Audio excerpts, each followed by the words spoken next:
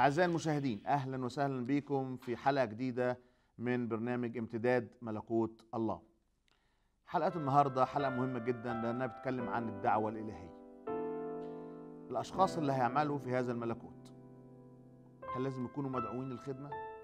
وإيه شروط هذه الدعوة؟ ومين له الحق إنه يعمل في هذا الملكوت؟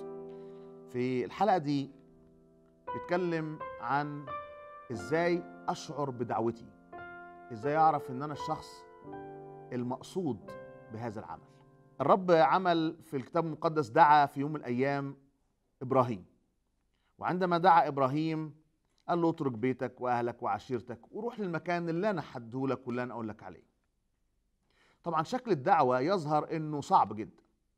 شكل الدعوة يقول إنه أنا لو الرب دعاني هذه الدعوة وقال لي تعال اخدم في المكان الفلاني وما تسألش وتسيب بيتك وعيلتك وكل ما عندك وما تسألنيش هتروح فين أعتقد الأمر يبقى صعب.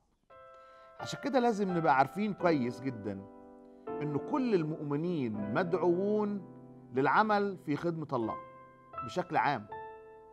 لكن الله أفرز وخصص أناس دعاهم للخدمة المتفرغة للخدمة التخصصية لهذا العمل في الملكوت للعمل في الكنائس.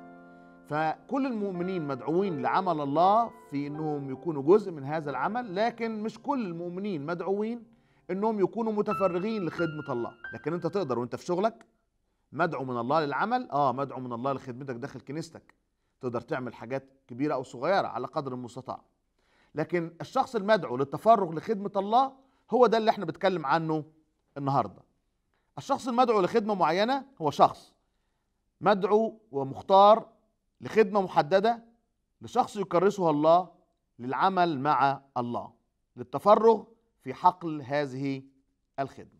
هقول لكم بعض القراءات الكتابية اللي ممكن تورينا الفكرة بتاعة الدعوة الخاصة لهؤلاء المؤمنين. في متى 10 عدد 6 ل 8 بيقول أنتم ذاهبون اكرزوا قائلين إنه قد اقترب اقترب ملكوت السماوات اكرزوا. الدعوة الشخص المدعو وشخص مدعو لتقديم رسالة الخلاص والكرازة. في خروج 19 عدد خمسة بيقول فالآن إن سمعتم لصوتي وحفظتم عهدي تكونون لي خاصة. هل ده معناه إيه؟ كلمة خاصة معناها إنه دول خدامه بتوعه اللي أفرزهم واللي خصصهم واللي دعاهم علشان يكونوا مكرسين لهذه الخدمة. نحن عاملان مع الله. إحنا مدعوين. لهذه الخدمة.